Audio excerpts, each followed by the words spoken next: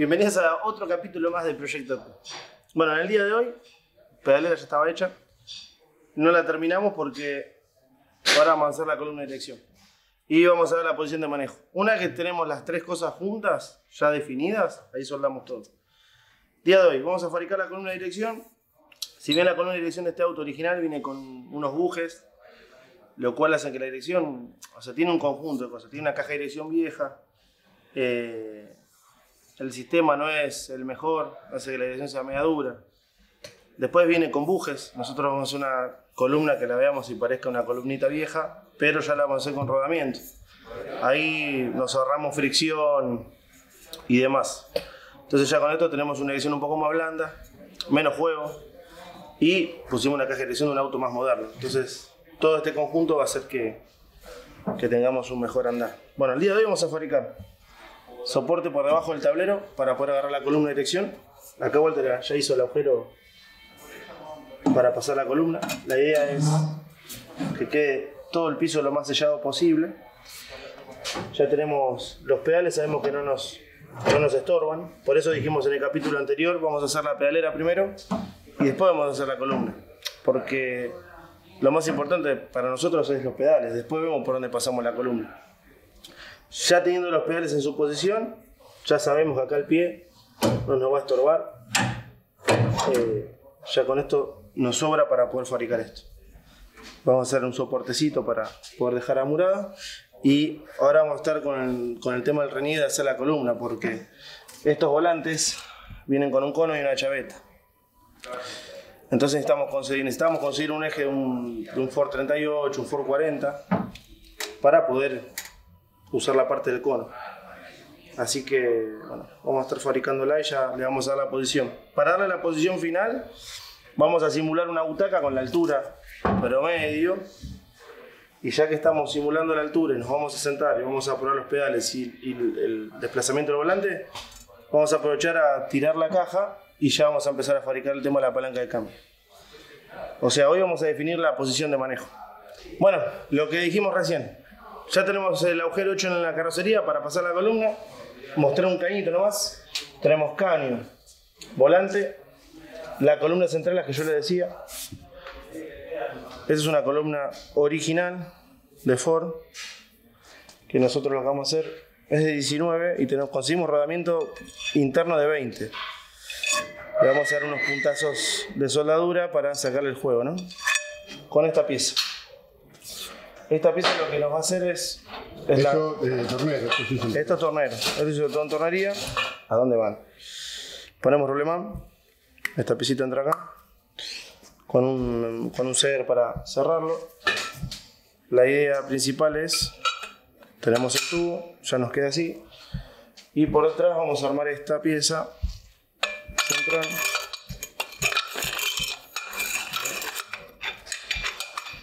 Ahí va sacándole el juego de la punta. Y ya nos queda el cono con la chaveta y la rosca para poder poner nuestro volante. Todo original de Ford. Lo único que fabricamos y adaptamos es la columna exterior, bueno, y la hacemos a rodamiento. Entonces esto ya nos evitamos el tema del juego. El tema del juego lo que va a hacer nos va a frenar. Si nosotros estamos teniendo un poco de juego en, en, el sentido de sea tanto para arriba como para abajo. Cuando uno hace fuerza con el volante, esa fuerza la trasladamos para abajo o para arriba. Y al tener un buje de bronce gastado, va a hacer que la dirección sea pesada. Yo lo que quiero hacer es que toda la energía del volante se transmita a la, a la caja de dirección lo, lo, más rápido posible. O sea, no tener fuga de potencia con un buje. Ya tenemos un, un rodamiento nada, no hay que engrasarlo, eso es totalmente mucho mejor. Entonces, ya lo que voy a hacer, acá no tengo ningún juego, si tengo un pequeño juego, lo que sea, puede ser una cruceta o la caja de dirección. Yo ya sé que esto no me va a traer ningún problema. No voy a tener la dirección pesada por un buje, bueno, eh, lo que sea. Lo que sí ahora, como hablábamos, uno tiene que ir presentando cosas. Nosotros ya presentamos los pedales de tal manera que hay que soldarlos y hay que moverlos tan punteados. Ya nosotros planeamos que eso está terminado. Después se suelda todo. Hoy vamos a colocar la columna de dirección, pero lo que no vamos a terminar es el largo.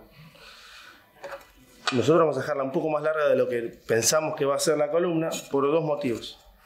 Eh, una, porque bueno, no tenemos definido bien el tema de que no tengo el motor hoy acá. Entonces por ahí necesito sea un poco más corta, más larga, porque yo de esta unión a la caja de dirección necesito una cruceta. Para ver ese largo lo que tengo que hacer es fabricarla, la dejo un poco más larga. O sea, acortarla siempre voy a poder, hacerla crecer no tengo ese don, así que es preferible dejarla 8 o 10 centímetros un poco más larga y después vamos a ir cortando y vamos a ir probando cuál es la medida cómoda para que nos quede la coseta.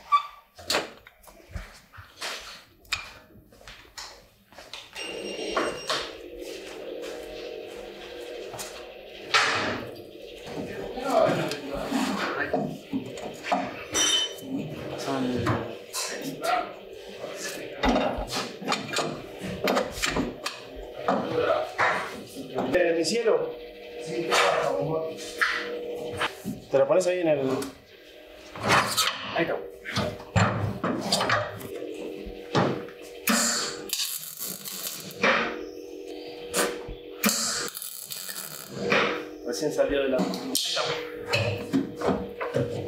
Bueno, espera. ¿Queda cómodo? ¿Sí? Voy con el- la idea es que tengas aquí con el brazo apoyado acá y también la otra, que no te moleste las piernas. El acero va a quedar acá. No, está súper cómodo. Sí, es más, la butaca puede ir un pelín más para atrás también si se quiere. ¿Sí? Yo creo que ahí estaríamos. Sería lo ideal. Por ahí, estaríamos bien. esos 3 centímetros que le faltan, yo la tiraría lo más posible para atrás. Un poquito más, Tiene buen despejo. un poquito más para acá. Yo lo pondría ahí. Ahí está perfecto, porque yo puedo ir apoyando el codo. Si entras ahí, puedes entrar y salir. Sí. Es más, si querés ir en ruta, me, me permite apoyar la rodilla e ir, a- ir manejándolo. Ah, igual tiene razón. Usando el celular, ¿está bien? Entra, si entro y salgo. Si entras y salís ahí. ¿Sí? Es más, un centímetro para adentro, voy a ponerlo. Ahí. Yo creo que entro ahí. Sí. Sí. Está cómodo. Ahí está perfecto. 6 centímetros de altura, de acá, acá, eh, 18 y medimos de acá, ¿cuánto Ah, más o menos.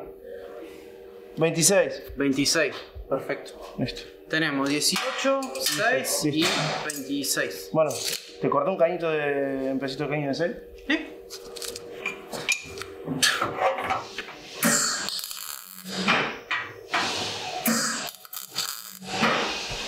Dieciocho. Bueno, dar un puntazo.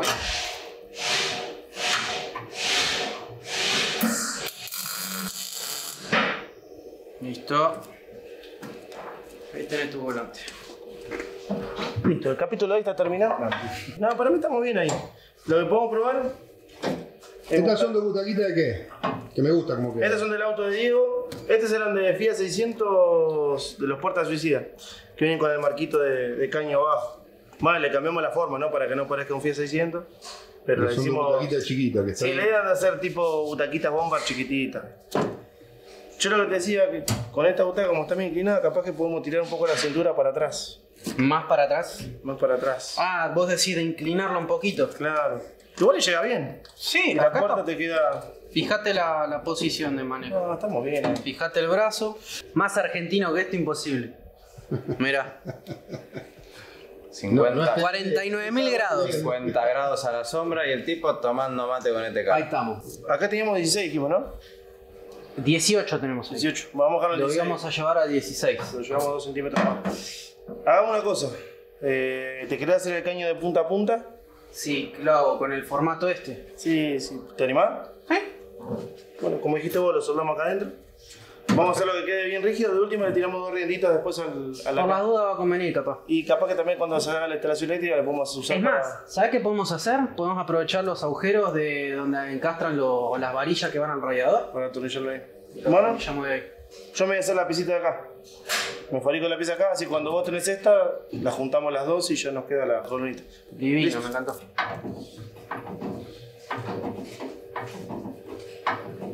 Ah, línea con Demostrá que con, con un poquito de amor y, y cariño de un caño redondito, el caño, o cuadrado, rectangular. o- Esto es 2030. así lo que quieras. Gracias.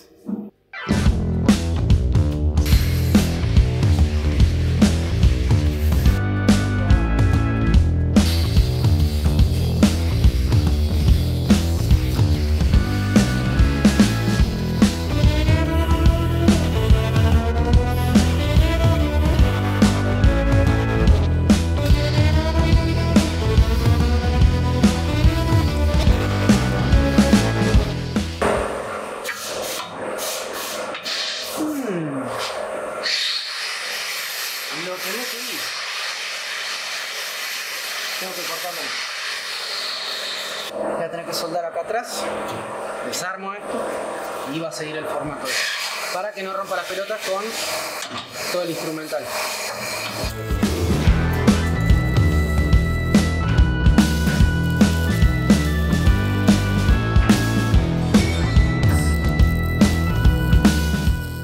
Esta es la parte del día de la artesanía. Tengo que fabricar el soporte, así Perazzi, que... Dedicado a Perazzi. Dedicado gracias, a mi amigo Perazzi. Mirá, Seba, esto te va a encantar. Viste, nosotros tenemos alma de ciruja siempre. Bueno, yo hay piecitas que guardo que digo, ah, esto capaz que lo uso para tal cosa. Esto es un soporte de un tensor.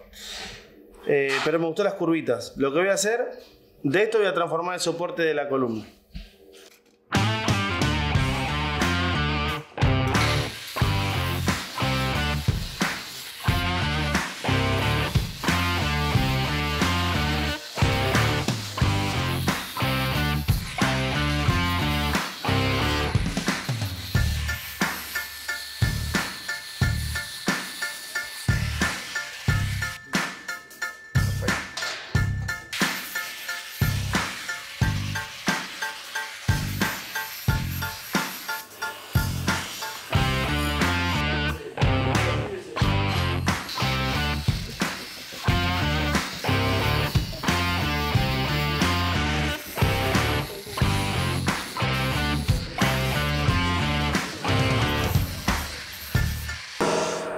Mi pieza dedicada para Perazzi.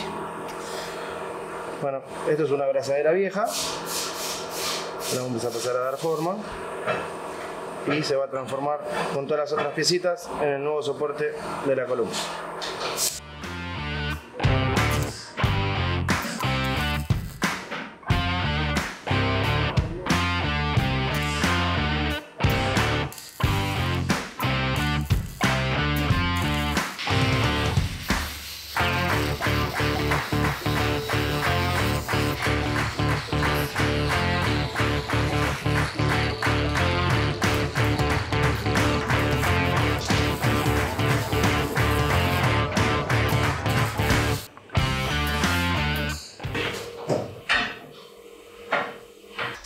Tenemos la piecita esta, que lo que habíamos hecho de hacer, ya está hecha con el formato del tablero. Bueno, ahí tenemos. Sacando esto, que esto sería ahora el alma, vamos a agarrar y vamos a hacer las orejitas para abulonar esta pieza que estaba haciendo re. Ahí está. Ahí está. Esto en teoría va a quedar ahí. Y lo que vamos a hacer para reforzar toda esta pieza, le vamos a tirar dos rienditas. De acá y acá. Que vamos a aprovechar los agujeros que tiene eh, los agarres de las varillas que van al radiador. Bueno. Bueno, listo. Ya tenemos el soporte que hizo Walter por debajo. Ya tenemos la piecita que, que fabricamos, ya está colocada. Está punteada. Una vez volvemos a lo mismo. Nos sentamos en la butaca, probamos. Esta es la posición definitiva para nosotros. Cuando desarmemos, se suelda todo completo y ya queda soldado. Hasta no tener todas las piecitas, esta pieza no la terminamos de soldar, queda punteada. Eh, pero ya está puesta. Tenemos volante. De este lado nos queda solamente para conectar desde la salida de la caja de dirección a, a la de la columna. Que esto es lo que yo les decía, que bueno, seguramente esto lo dejo largo por si tengo que llevar el volante para atrás. Una vez que lo tenemos, lo corto por acá, por donde sea, lo más cerca de la carrocería para que no quede tan largo. O en este caso, ya con una sola cruceta estaríamos bien. Dependemos del motor. Si acá el escape, el burro de arranque, no tenemos nada que nos, nos estorbe, tenemos una conexión segura y rápida. Así que esto lo terminamos con el motor. ¿Podés? Uh, hasta la caja esta está ¡Ay, caliente. monstruo!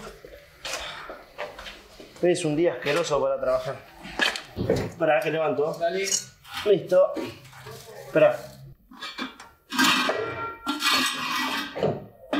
Ahí está. Ahora sí, vamos. Adelante. Sí, así lo levanto. Ahí está. Bueno, columna lista, pedalera lista en posición. Ya tenemos butacas más o menos, aproximado a lo que van a hacer la del auto. Eh, ahora vamos con lo siguiente. Esta es la palanca de la Toyota. Estábamos, la Toyota que restauramos. Eh, bueno, estos selectores hay que hacerle Caja de Toyota recontra aprobada en lo de 8, ¿no? Eh, sí. Todo lo que es eh, V8, digamos, línea de calle, nada de para salir a correr ni hacer locuras. Un espectáculo. Nunca tuve problema. Así que es una linda cajita para adaptar. Hay que hacer la reparación del plastiquito este que se vende. Es un plástico para que no tenga la selectora. Eh, esta chapita hay que ahora nos está trabando. Lo que vamos a hacer, vamos a sacar la palanca vieja de la Toyota. En este caso corté una placa de, de 8 milímetros para cambiar la palanca de acá. Ahora vamos a cortar esta, que lo único que necesito es esta pieza puesta. Nos vamos a sentar en la butaca, vamos a agarrar el volante y vamos a simular la posición. Así vemos si la hacemos más corta, más larga, eh, en qué posición la ponemos. La idea es tratar de pasar los cambios y que no nos toquen el tablero, no nos toquen la butaca, no se nos clave en la rodilla cuando ponemos segunda. Así que vamos a ver las limitaciones del espacio del, del interior que nos entre una palanca en estilo original. Lo mejor sería tener una palanca cortita que no toca a ningún lado, pero como estamos haciendo un auto a raja tabla de época, sí o sí tenemos que tener esto.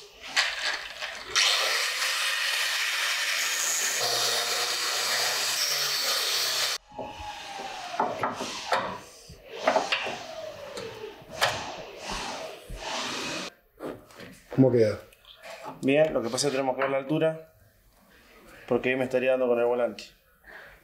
Entonces seguramente lo que vamos a hacer es cortarla y usarla así. Al revés. Entonces ya me queda una palanquita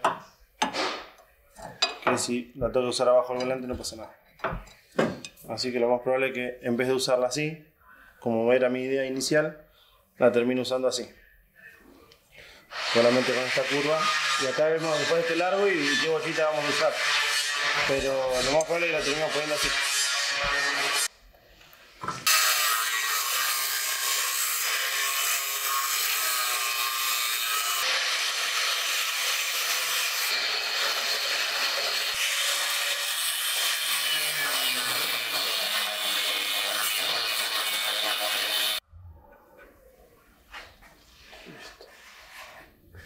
Bajar un poquito.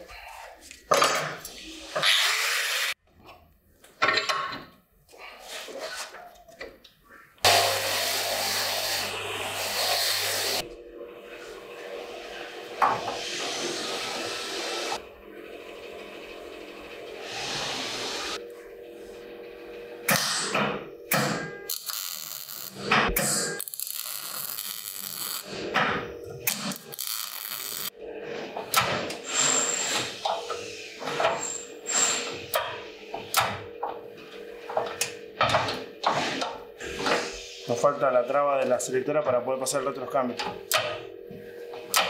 Yo que ahí estamos bien. Hacerla un poquito más corta.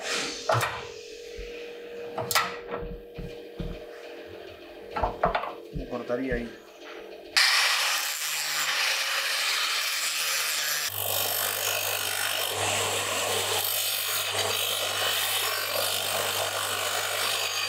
Bueno, listo. Columna, pedalera, palanca, tenemos altura de butaca, ya tenemos la posición de manejo. ¿Qué nos queda? El acelerador.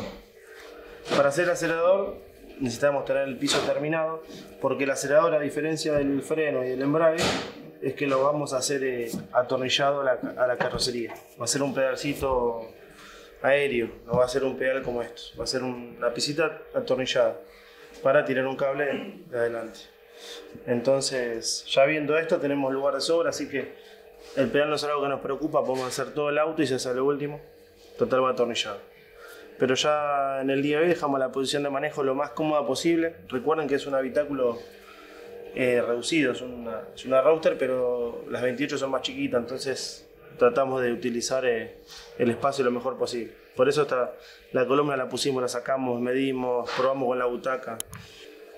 Podemos tener un auto que ande bien, pero si es incómodo de manejar, eh, se vuelve molesto el auto. Entonces, siempre la idea para que un auto funcione lo mejor posible, primero es que la posición de manejo sea lo más correcta posible, que no tenga vicios, digamos, el auto. Que yo no me tenga que andar acostumbrando a tener el volante en un lugar donde no tendría que tener. Bueno, mientras sea lo más manejable posible, el resto del trabajo nuestro va a ser más fácil después para que ande bien, para que el auto doble, si yo tengo que frenar, estar cómodo para frenar.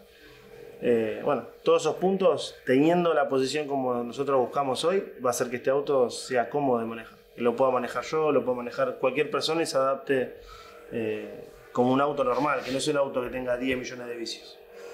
Así que bueno, eh, eso es todo en el día de hoy. Así que próximamente avanzaremos con, con otras cosas. Hay que ver todavía. Hay una, li- una lista larga que hay que empezar a acelerarla, pero esto ya es muy. Hoy es un paso muy grande ya.